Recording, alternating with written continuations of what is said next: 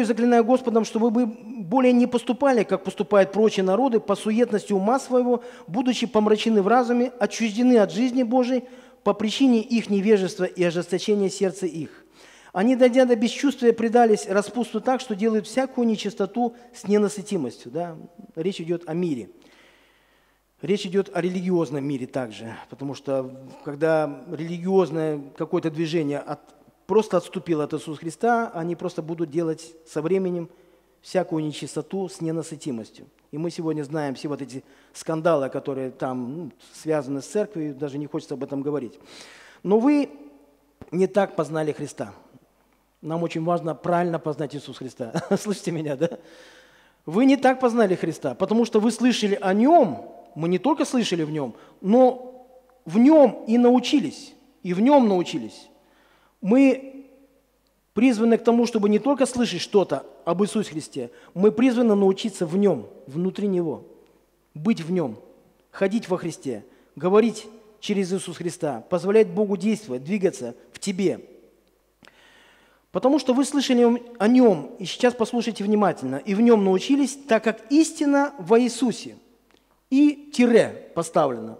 Что такое истина во Иисусе? Давайте мы узнаем.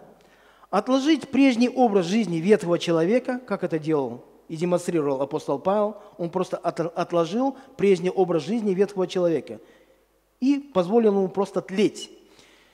Отложить прежний образ жизни ветхого человека, истлевающего в обольстительных похотях – а обновиться духом ума вашего, обновиться духом ума вашего и облечься в нового человека, созданного по Богу в праведности и святости. И еще раз повторяется это слово «истина». Иисус говорил, «И познайте истину, и эта истина сделает вас свободными». Чуть-чуть ниже Иисус Христос говорит, «Я есть им путь и истина и жизнь». Познавая Иисус Христа, ты познаешь истину. И эта истина, она тебя освобождает, оно обновляет твой дух, твой разум, твое сердце, и ты становишься абсолютно новым человеком, созданного, 24 стих, по Богу. В тебе начинает проявляться образ Христов. Ты создан, написано, да, изначально человек был создан как? По образу и подобию Божьему, да? Я хочу сказать вам, что человек, живущий в мире без Христа, он теряет вот этот образ Божий. Он превращается со временем просто в прах, просто во что-то плоское. Земные страсти, они просто его начинают в какой-то степени запутывать. Дьявол смешивает его с грязью, и он теряет тот образ славы. И я хочу сказать о том, что только через церковь, живую церковь Иисуса Христа, через живых верующих христиан, люди этого мира могут увидеть, какими они должны быть какими они могут стать во Христе Иисусе, какими они могут стать в Божьей славе. Мы призваны просто продемонстрировать вот эту трансформацию в нас, вот эту реформацию, которая происходит на уровне наших сердец. И мы должны знать эту истину. Истина во Христе Иисусе – это каждый день откладывать прежний образ жизни ветхого человека, который сливает. Пусть он там и сливает. И каждый день обновляться. Аминь. Обновляться духом ума вашего. Слава нашему Богу. Давайте мы склоним наши сердца, коротко помолимся. У нас еще трапеза Господня. Сейчас у нас будет песня. Слава тебе, всемогущий Бог. Аллилуйя. Мы благодарим Тебя за тех реформаторов, которые были, возникали, восставали против какой-либо системы на протяжении вот этих двух тысяч лет после Рождества Христова. Их было очень много на самом деле – о большинстве из них мы просто даже не догадываемся, но они были.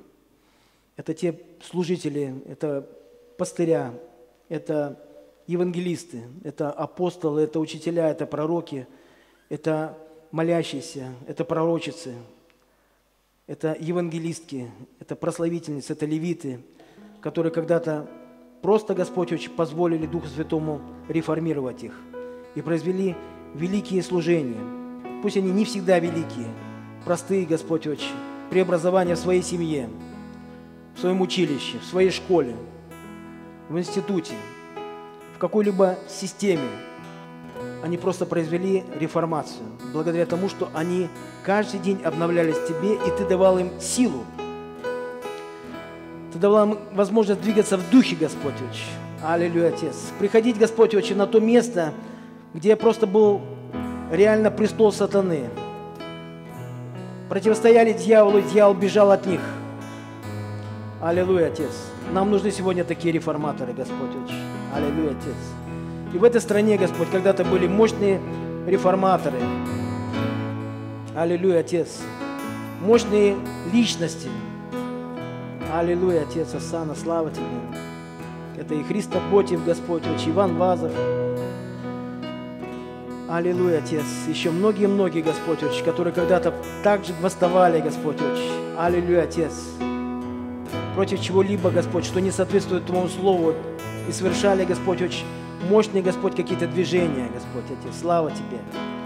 И, Господь, Отче, мы помним о них.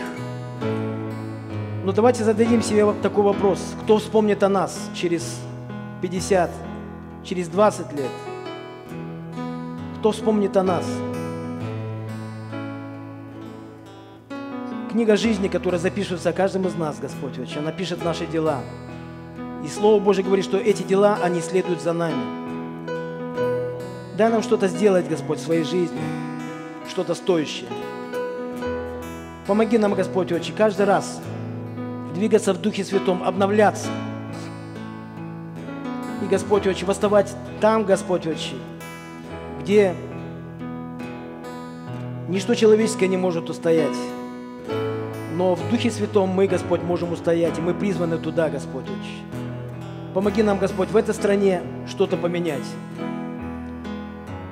Принести какое-то благословение, Отец. Принести исцеление этой нации.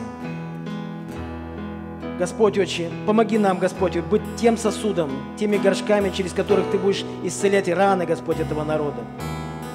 Кого-то оденешь, кого-то накормишь, Господь, Отче, кого-то приютишь. Аллилуйя, Отец. Помоги нам быть, Господь, Отче, этими сосудами. Слава Тебе, всемогущий Бог. Мы уповаем на Твою благодать. Аллилуйя, Отец. Верой, Господь, Отче, мы спасены, Господь, Отче. Аллилуйя, Отец. Только Христос, только Священное Писание. И вся хвала, и вся слава и поклонение только нашему единому Богу. Аминь. Давайте мы прославим Бога еще. Можете оставаться на местах. Мы хотели спеть один гимн христи... христианский э, «О благодать спасен тобой». Он был написан э, одним моряком в прошлом. Э, это моряк, который ну, жил такую жизнь не совсем христианскую. Э, и он работал на корабле, который э, они занимались работорг... э, торговлей, работорговлей. И один раз он попал, весь корабль попал в шторм. И корабль потерпел крушение, и он во время шторма обратился к Богу тогда и попросил спасти его. И Бог сверхъестественным образом спас его, он покаялся, и через несколько лет он оставил службу на корабле, стал священ, священнослужителем и написал вот этот гимн, кроме этого еще где-то 250 гимнов, но это стало знаменитым гимном. Автор э, этого гимна Джон Ньютон. И мы хотели сегодня вместе с вами его исполнить. Он такой немножко длинный, мелодия очень простая. Будем петь тихо, чтобы было слышно голос каждого из вас.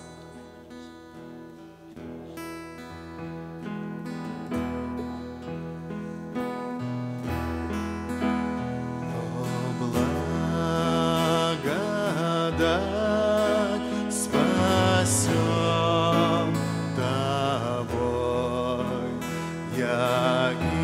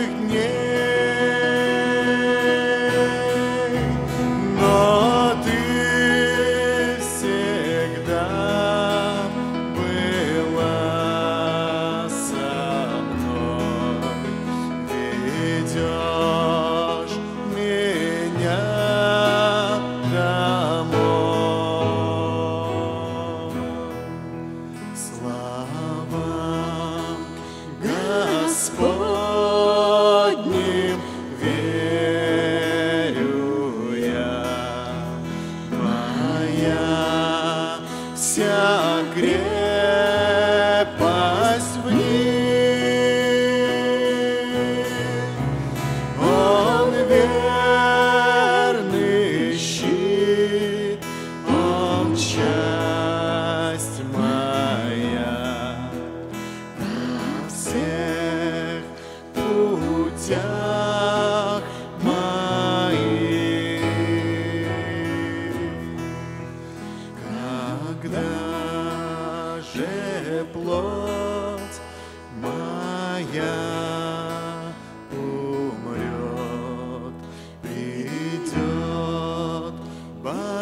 Тебе